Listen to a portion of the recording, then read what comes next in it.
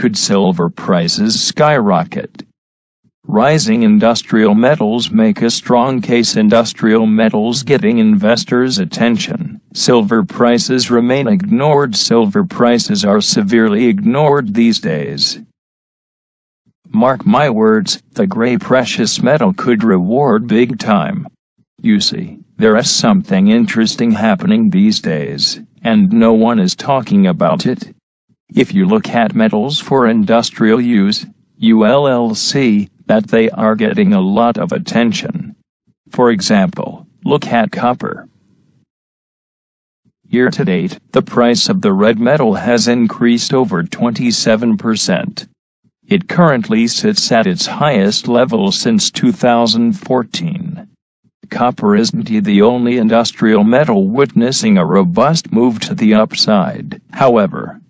Aluminum prices are soaring as well, they retesting the 2014 highs. Zinc prices are ripping higher too.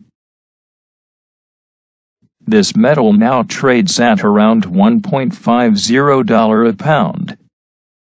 In mid-2015, it traded at around $0.65 a pound. This represents an increase of more than 130% in little over two years. Palladium has shown a stellar performance as well.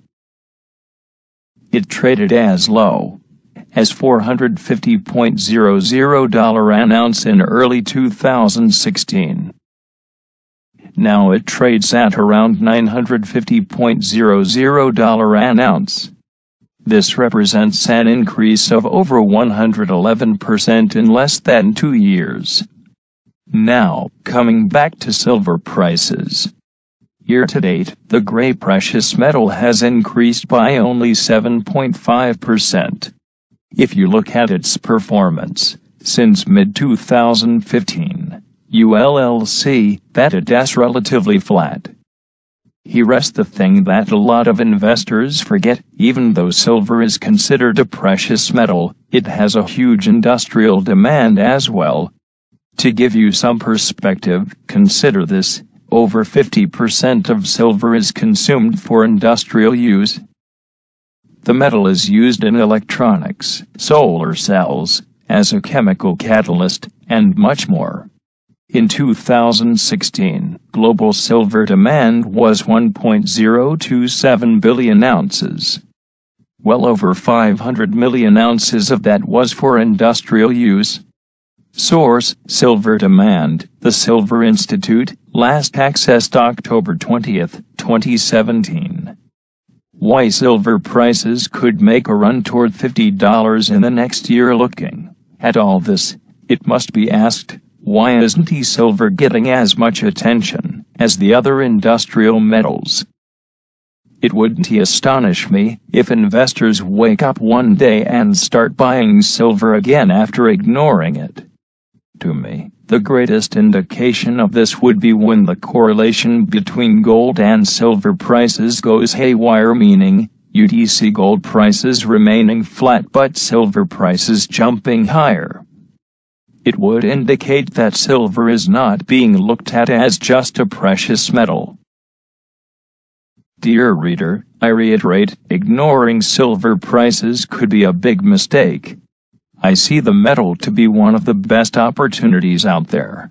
How high could silver prices go? I am not big into predicting the exact prices, but in next year, I wouldn't be shocked if silver makes a solid run toward $50.00. With this said, I am also paying a lot of attention to silver mining companies. There are very few quality mining companies that are focused on silver only. If the price moves higher, silver mining companies could be in very high demand all of a sudden, and they could provide leveraged gains to silver prices. I will make another bold statement here. I will not be surprised if silver mining stocks reach their 2011 highs before silver prices do.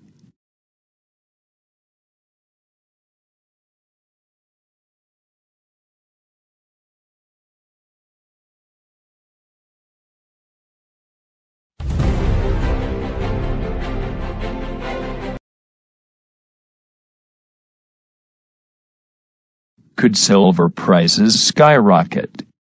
Rising industrial metals make a strong case industrial metals getting investors' attention. Silver prices remain ignored. Silver prices are severely ignored these days. Mark my words, the gray precious metal could reward big time. You see, there is something interesting happening these days, and no one is talking about it.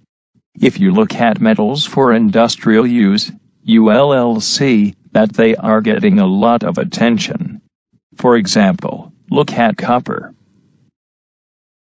Sent in little over two years. Palladium has shown a stellar performance as well. It traded as low as $450.00 an ounce in early 2016. Now it trades at around $950.00 an ounce. This represents an increase of over 111% in less than two years. Now, coming back to silver prices. Year to date, the gray precious metal has increased by only 7.5%. If you look at its performance, since mid 2015, ULLC, that it is relatively flat. Year to date, the price of the red metal has increased over 27%. It currently sits at its highest level since 2014. Copper isn't the only industrial metal witnessing a robust move to the upside. However, aluminum prices are soaring as well, they retesting the 2014 highs. Zinc prices are ripping higher too. This metal now trades at around $1.50 a pound. In mid-2015, it traded at around $0.65 a pound. This represents an increase of more than 130% could make a run toward $50 in the next year looking at all this, it must be asked, why isn't silver getting as much attention as the other industrial metals? It wouldn't astonish me if investors wake up one day and start buying silver again after ignoring it.